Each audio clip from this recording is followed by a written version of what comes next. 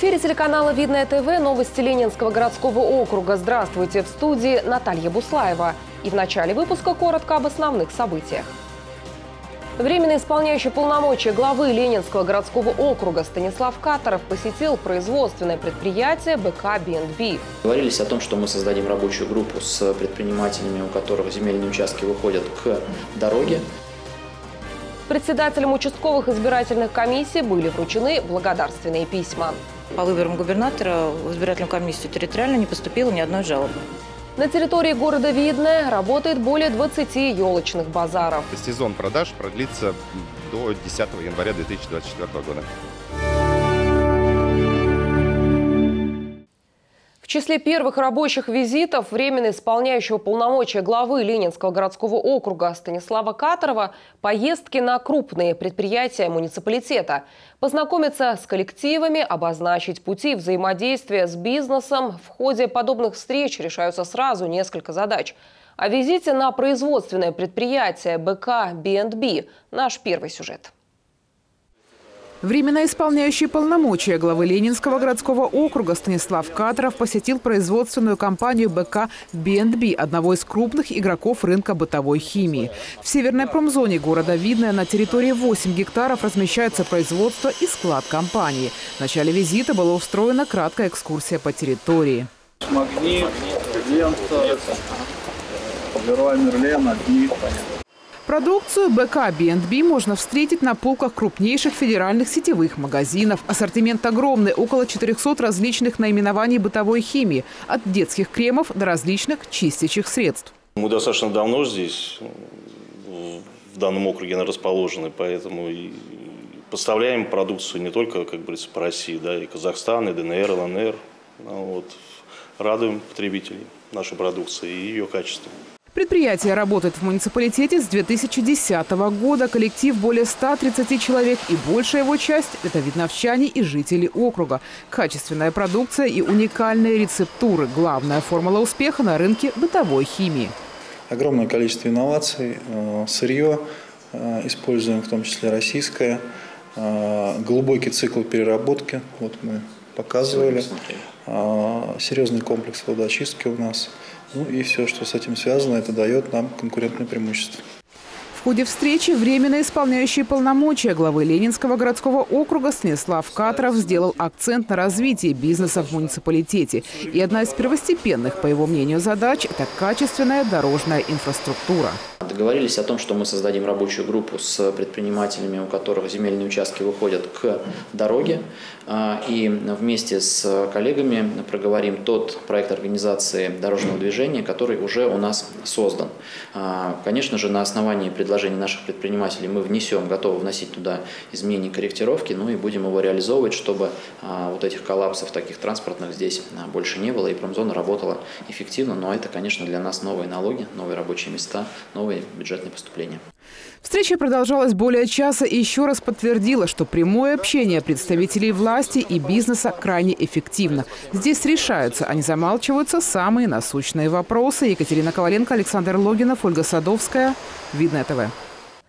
С 8 по 10 сентября на территории Московской области проходили выборы губернатора. В Ленинском городском округе на 73 избирательных участках работало порядка 800 человек. В признании их заслуг в Видновском историко-культурном центре председателям участковых комиссий были вручены благодарственные письма. Мы благодарны всем за качественную и, главное, эффективную работу по организации и проведению выборов. Благодаря собравшимся в этом зале людям, жители Ленинского городского округа имеют возможность реализовать свое избирательное право. В начале сентября в Московской области проходили выборы губернатора, и все участковые комиссии функционировали как единый, хорошо отлаженный механизм. Мы всегда работаем командой. Команда не только администрации, не только Совета депутатов, не только образовательных учреждений, ЖКХ и всех-всех-всех остальных сфер. Единая команда всего города. И я считаю, что только в этом сила. И только так мы с вами победим.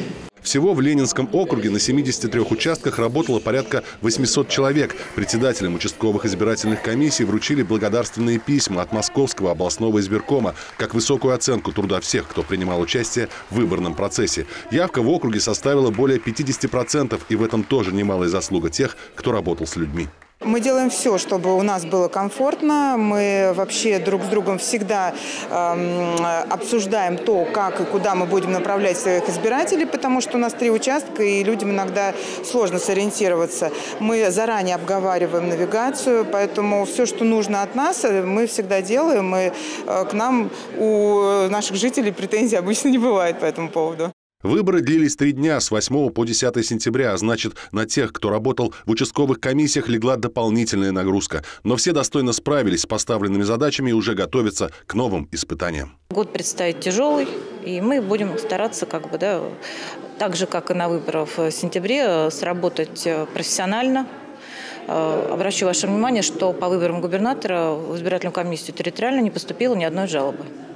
Это тоже показатель профессиональности работы. Действительно, в будущем году в Ленинском городском округе должен обновиться Совет депутатов, но главное, в апреле жителям страны предстоит отдать свои голоса за одного из кандидатов в президенты России. Важность этого мероприятия отметил в своем заключительном слове и временно исполняющий полномочия главы Ленинского городского округа Станислав Катаров. Впереди у нас с вами главные выборы страны, выборы нашего лидера, нашего президента. И то, как мы пройдем эти выборы, а, от этого будет, конечно же, зависеть и наше ближайшее с вами будущее. И уверен, что Ленинский городской округ а, в этих а, выборах, которые стоят, тоже покажет себя во всей красе. Тем, кто не входил в избирательные комиссии, но оказал всестороннюю помощь в организации и проведении выборов, вручили благодарственные письма главы Ленинского городского округа. Максим Козлов, Александр Логинов, Ольга Садовская. Видное ТВ. Более 20 елочных базаров открылись в Видном 15 декабря. Что касается цен на елки и сосны, обещают, что они будут примерно на уровне прошлого года. Как проходит торговля и какие деревья чаще всего покупают видновчане, узнала Инга Янчук. В рамках губернаторского проекта Московской области «Зима в Подмосковье» в Ленинском городском округе будут работать 24 елочных базара. Ассортимент новогодних деревьев разнообразен – ели, сосны и пихтовые лапники. Приобрести небольшую елочку жители могут от 1900 рублей. Необходимо помнить о том, что на каждой точке продажи должны быть необходимые документы, это информация о продавце и, соответственно, подтверждающие документы о происхождении этих живых елей. Сезон продаж продлится до 10 января 2024 года. И все-таки, каким новогодним деревьям жители Ленинского городского округа отдают предпочтение в этом году? Искусственным или живым? У нас живая елка, потому что от живой елки веет э, очень приятным запахом. Лучше искусственные, они у меня долго стоят до февраля. Мне хочется живую елку, чтобы дома вкусно пахло. У нас уже много лет стоит искусственная одна и та же. Видновчанка Татьяна Голубицкая на протяжении 10 лет ставила на праздник искусственную елку. Это и практично, и мусора нет, и ухода особого не требует. Но в этом году на елочном базаре она решилась на покупку живого дерева. В этом году просто захотелось, очень сильно захотелось свежую елку, чтобы был аромат э, Нового года в доме. На елочных базарах представлены отечественные ели и сосны из Московской, Рязанской, Владимирской областей и Пермского края. При покупке для комфортной транспортировки дерево продавец упакует. Узнать адреса базаров можно на официальном сайте Ленинского округа. Инга Янчук, Кирилл Иванов, Гульнара Балаева. Видное ТВ. Лучше всего дети усваивают знания в игровой форме. Мероприятие по профилактике безопасности на дорогах в седьмой школе города Видное прошло в формате беседы и мастер-класса по созданию новогодней игрушки. Подробнее расскажет Дмитрий Книга. В Видновской школе номер 7 состоялось профилактическое мероприятие госавтоинспекции для детей. С малых лет ребятам рассказывают о правилах дорожного движения и приучают к безопасности на дорогах. 18 декабря по 14 января у нас начинает действовать профилактическое мероприятие «Внимание, дети! Зимние каникулы». В рамках данного мероприятия большие э, ликбезы пройдут с различными участниками дорожного движения. Естественно, они направлены, опять же, на безопасность наших учащихся, наших воспитанников детских образовательных учреждений. Школы округа тесно сотрудничают с госавтоинспекцией. В седьмой школе города Видно регулярно проводятся занятия, лекции и мастер-классы, в рамках которых учащиеся в игровой форме постигают новые знания.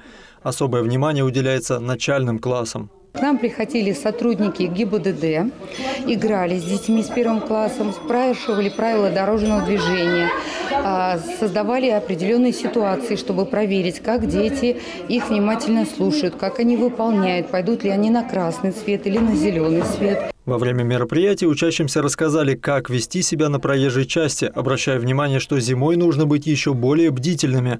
Плохая видимость во время снегопадов мешает пешеходам, а у автомобилей в зимнее время года увеличивается тормозной путь. Нужно ходить без наушников и перед тем, как пройти первую часть дороги, посмотреть налево, после чего посмотреть направо. У меня на много одежды есть светящиеся элементы, светоотражающиеся. И я когда хожу по улице, я даже сама замечаю, что они начинают светиться, и я чувствую себя в безопасности. Так как занятие проходило накануне праздника, ребята вместе с представителем Союза безопасности дорожного движения сделали новогоднюю игрушку со светоотражающими элементами. Дмитрий Книга, Кирилл Иванов, Гульнара Балаева, Видное ТВ. Для того, чтобы порадовать пациенток, в Видновском перинатальном центре провели мастер-класс, который посвящен истории и культуре острова Шри-Ланка. Более подробно расскажет наш корреспондент Юлия Стаферова. Ароматические свечи, расслабляющая музыка, тибетская поющая чаша – все это создает приятную и спокойную атмосферу. Такую обстановку создала партнер Видновского перинатального центра по благотворительным проектам Ольга Романова. Она провела для мам мастер-класс, который посвятила острову Шри-Ланка. Ольга показала фотографии достопримечательностей, рассказала о культуре и истории острова, а также предложила сделать фигурку слона, одного из символов южноазиатской страны. Мы будем а, мастерить а, слонов из фетра, закладывать в них некую энергетическую силу, некий заряд для того, чтобы в будущем году у людей все получилось, все срослось, и, соответственно, они стали счастливее, потому что слон – это символ счастья. Благодаря мероприятию пациентки получили эмоциональную разгрузку. На мастер-классе они смогли, не выходя из перинатального центра, проникнуться культурой острова Шри-Ланка. Ну, я думаю, родители много всего интересного узнают, тем более никто туда, я думаю, не ездил. Поэтому интересно вот эту всю историю, которую рассказывают. В учреждении планируют и дальше проводить различные мероприятия для мам новорожденных. С Нового года у нас ожидается, что будет достаточно большое количество мастер-классов. По крайней мере, 2-3 раза в неделю у нас будут проходить подобные мероприятия. Различные абсолютно тематики. Где-то это будет вязание, где-то занятия лечебной физкультурой. У нас есть специально оборудованный для этого зал. Пациентки Видновского перинатального центра остались благодарны организаторам мастер-класса. Юлия Стаферова, Кирилл Иванов, Ольга Садовская. Видное ТВ. В музее-заповеднике Горки Ленинский прошел новогодний шахматный турнир. В нем приняли участие ребята из Видного, Домодедова и поселка Горки Ленинские. Соревнованиям предшествовали отборочные игры, на которых юные шахматисты разбирали различные комбинации и тренировались друг с другом. Судья соревнований Максим Пермяков пояснил, что в этих играх была использована швейцарская система, которая предполагает серию быстрых поединков. Каждый участник смог встретиться как с противником своего уровня, так и более сильным. Шахматы – это всегда развитие головы, мозга, каких-то математических способностей. Нам хочется вовлекать в, эти, в это массы детей, поэтому мы стараемся несколько раз в год проводить детские соревнования. Э, для вот Ленинского округа, в основном э, ребята у нас из Горок, но также есть из Видного, из Домодедова. По субботам на территории музея-заповедника Горки Ленинский работает любительский шахматный клуб. Площадь для проведения тренировочных матчей и соревнований безвозмездно предоставляет спортсменам руководство музея. Мы задачи решаем, э, рассматриваем партии известных шахматистов. Матвей занимается шахматами 4 года и пробовал свои силы уже на многих соревнованиях. И не понаслышке знает, какие качества необходимы для достижения хороших результатов.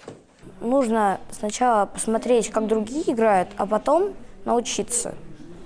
Научиться играть, и тогда уже можешь с другими со соперниками соревноваться. Организаторы турнира подготовили для каждого участника дипломы и подарки. Это вся информация на сегодня. В студии была Наталья Буслаева. Я и мои коллеги желаем вам только хороших новостей. Всего доброго и до свидания.